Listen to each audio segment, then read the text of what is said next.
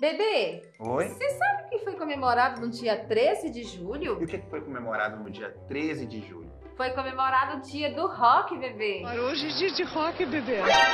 Nossa, bebê. Olha que nós somos um canal que fala de filmes e séries. A gente esqueceu essa data. Esqueci. Ah, mas ainda dá tempo, né, de dar um parabéns atrasado. Parabéns, The Rock. Parabéns, Dwayne Johnson. Astros de Velozes e Furiosos. Baywatch, Jumanji, o Fado do Dente.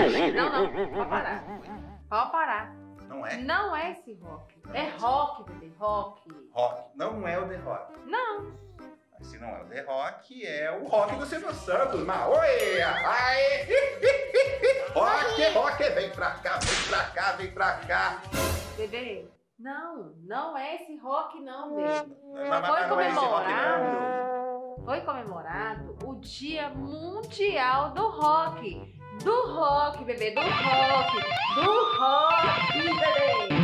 Rock? Esse Rock? Do rock. Não é o The Rock. Não. Não é o Rock do Silvio Santos? Não. Então, Rock música. Isso. Ah, sim, agora você falou minha língua. Afinal de contas, a gente quer rock and roll toda noite e festa todo dia. Oh yeah! Essa data é comemorada desde 13 de julho de 1985, data que foi realizado o famoso festival Live Aid, que foi um festival que reuniu várias bandas de rock nos Estados Unidos e também na Inglaterra. Este espetáculo foi transmitido ao vivo para mais de 100 países na época. E o objetivo desse rock, bebê, era chamar atenção e angariar fundos para ajudar os flagelados da Etiópia, que na época estava passando por uma grave seca que agravou o quadro de pobreza e violência daquele povo. E para comemorar esta data aqui no Cine Show, vamos dar dicas de alguns filmes que de alguma forma faz homenagem ao rock. Se você chegou nesse canal através desse vídeo, seja muito bem-vindo. Todas as semanas a gente dá dicas de filmes e séries para você assistir. Roda a vinheta e só na caixa, DJ! Yeah!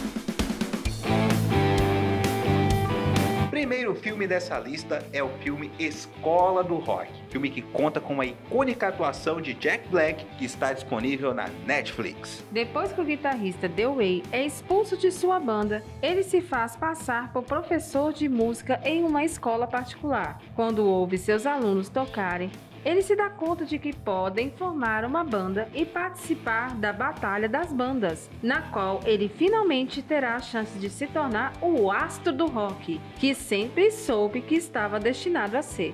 Bora aproveitar o Jack Black para falar do segundo filme da lista, que é o Tenacious D, uma dupla infernal.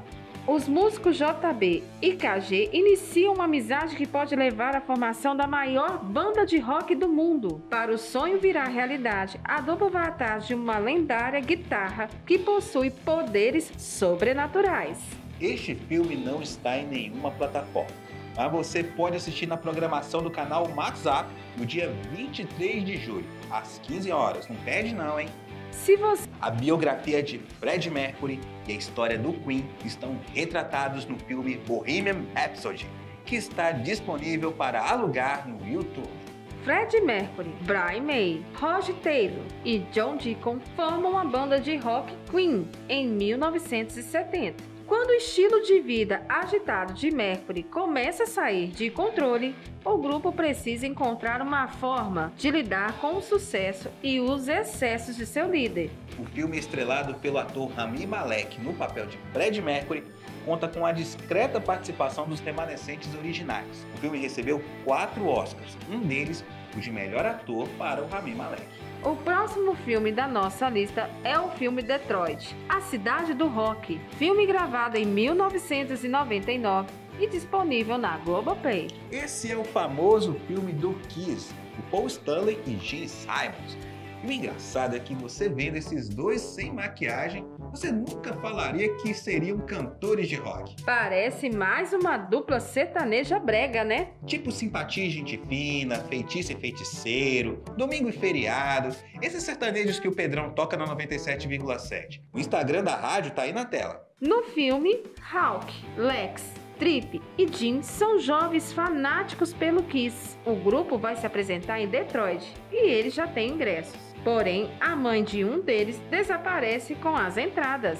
O filme conta com aproximadamente 51 músicas, tanto do Kiss quanto de várias outras bandas de rock em sua trilha sonora.